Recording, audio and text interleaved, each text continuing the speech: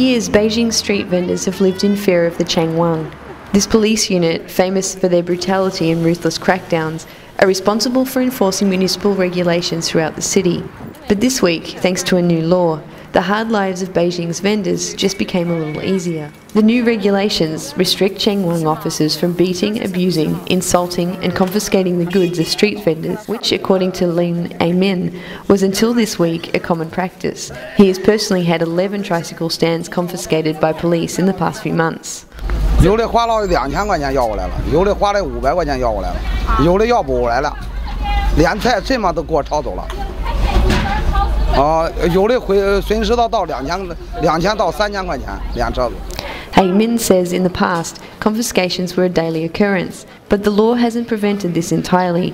The day before this interview, Amin said he had his scales confiscated. For vendors who earn an average of 100 yuan per day, minus expenses, such confiscations can be financially devastating.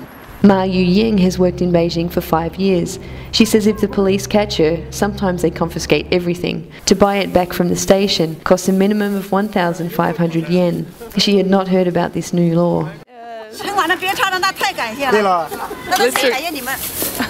那我们跟小区里边，跟我们学校里边都是便民的，也不让改，都五一花五。Local customer Li Shuzhan agreed that the street vendors offer a valuable service to the community. 但是我是不知道，我有退休费，他们这成吗？十块钱三斤。你得说呀，他们这他到冬天越天越冷，他也得挣钱呢，拉家带口还得住房。这十二，这一想想是不是？三块七。他得让他活呀得。Members of the Chengguan are not permitted to speak to media, but Mr Wong, who works as a Chengguan informant, monitoring the streets for vendor violations, said sometimes hard measures are necessary. 不许抓，不许扣留，完了不许那什么，那那那就得还得相相应出台一些相配套的措施来进行管理，就是最后还是以管为主，以理为以理为辅，对吧？你要没有管的话，也谈不上理，只有管了才能理，对吧？